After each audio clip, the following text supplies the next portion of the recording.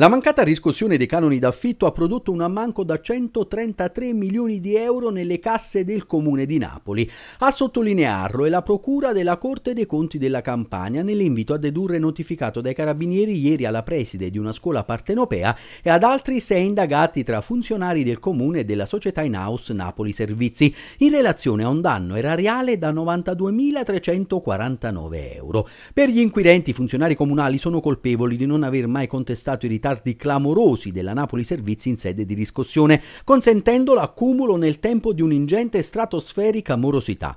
Dal settembre 1988 l'alloggio del custode defunto della scuola era occupato abusivamente dai suoi eredi che non pagavano l'affitto e neppure i consumi idrici al comune di Napoli. Sette in tutto gli inviti a dedurre, tra cui quello alla preside della scuola dell'infanzia e primaria Luigi Vanvitelli Plesso Caccavello che si trova nel quartiere Vomero. Secondo quanto emerso dalle indagini, anche in altre scuole napoletane è stata riscontrata la stessa occupazione abusiva degli alloggi dei custodi. In uno di questi è emerso per esempio che vive una persona il cui fratello venne arrestato nel 2005 perché sorpreso a coltivare marijuana proprio nel cortile dell'istituto. Ma ascoltiamo il procuratore regionale della Corte dei Conti della Campania Campania Antonio Giuseppone.